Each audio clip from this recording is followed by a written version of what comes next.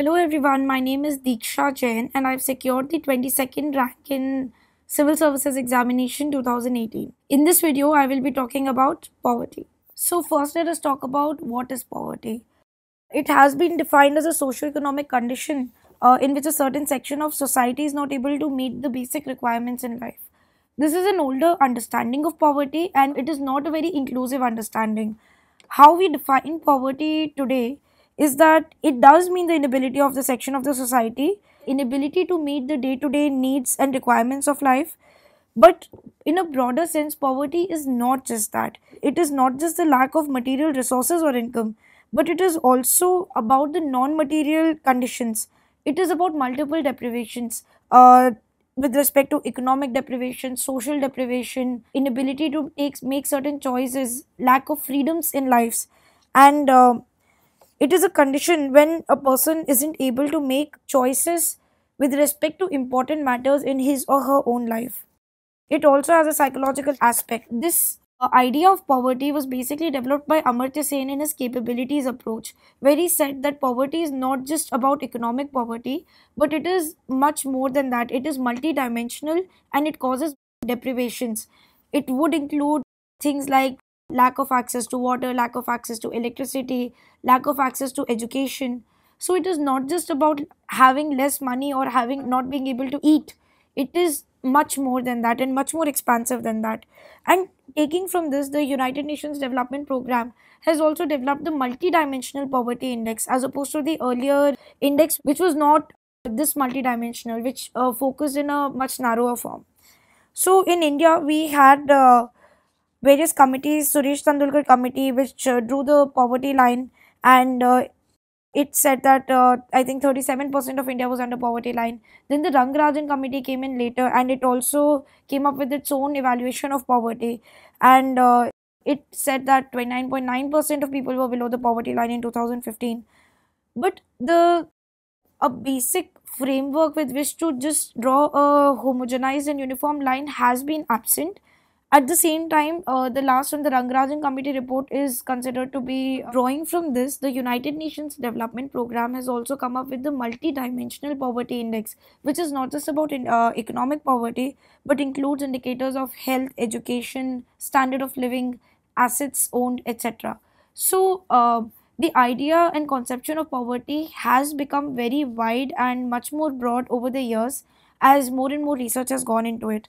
In India, we had the poverty line uh, by Suresh Tendulkar, and uh, according to it, 37% of people were under the poverty line. Then we had the Rangarajan committee, which also came up with its own uh, conception of poverty, and um, so on and so forth. Poverty is a problem that India is facing uh, to this day, although we have combated it a lot uh, ever since independence as well. So let us now delve into the causes of poverty. Uh, first is economic causes uh, backward agriculture. In India, uh, agriculture is more labor intensive and less productive because of which the income of the uh, Indian farmer is very less and many of the uh, rural Indian farmers are under poverty. B. Slow process of industrialization and urbanization. The industries, uh, manufacturing especially, has not caught up the primary and secondary industries uh, in India. Uh, so that has also led to that has not led to the same rise in wages which was for example experienced in industrial revolution in european countries there has also been increasing economic inequality and that has also uh, furthered uh, poverty lack of sufficient institutional support system in terms of credit facility land reforms issues or uh, financial inclusion and many the institutional support of health and education also so this has also deepened poverty in india unemployment and indebtedness are also very high among the Indian poor and they have all further put them into the trap of poverty. Second would be social causes. Within social causes, caste system is also an important factor. Uh, many of the poor uh, in India are also belong to the lower caste because both factors uh, enforce each other. Moving on to social causes, uh, caste system is uh, one major factor that has affected. Uh, the caste system deprives people of land, education, discourages labor mobility, and furthers poverty of those belonging to the lower caste.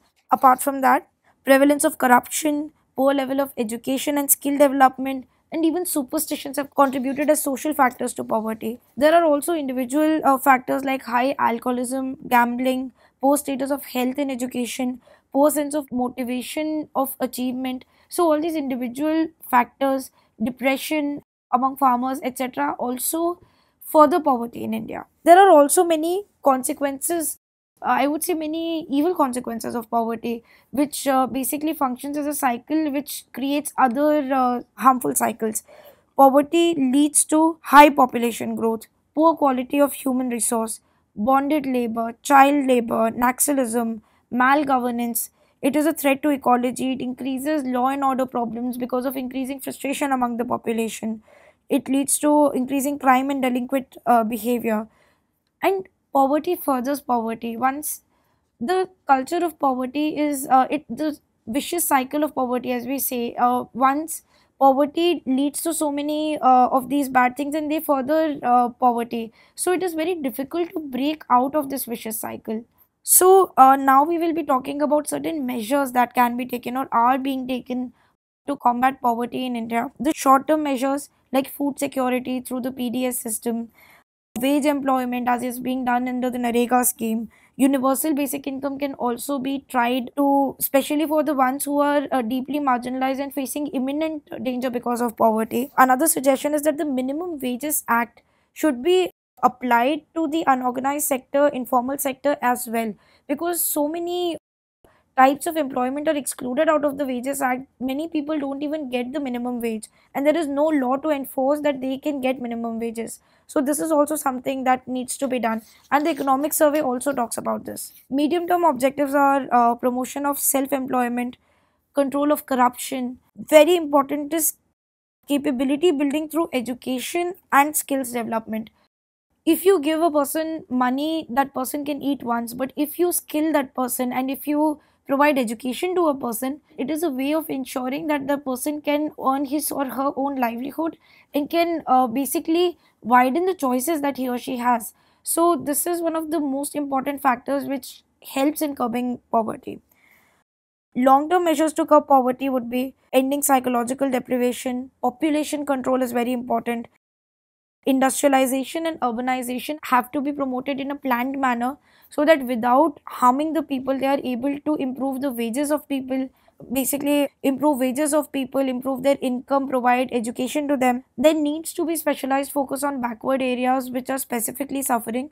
The aspirational districts program is very relevant here because it focuses on 200 most backward districts in india and they are located in any state. So these districts are given focused attention so that they can combat poverty in a very focused manner. Then there also needs to be proper work on controlling natural calamities and there needs to be effective disaster management. Whenever a disaster strikes, a flood comes, a drought hits, or a cyclone comes, the most affected are the absolutely marginalized and the poor. They don't have proper houses, their houses are washed away, they hardly have any belongings, and uh, hunger and starvation. So these are the people who suffer the most in disasters. So there needs to be proper disaster management and rehabilitation for them as well. Some important schemes for poverty eradication in India are Mahatma Gandhi National Rural Employment Guarantee Act, NULM, that is National Rural Livelihood Mission, National Urban Livelihood Mission. What we really need is to move from a vicious circle of poverty to a virtuous circle whereby positive enforcements of education, health, even economic assistance, we are able to get people out of that vicious circle and as a country we can move forward on the path of development. So that will be all for poverty. Thank you. Subscribe to our channel and click on the bell icon to get latest updates on upcoming videos.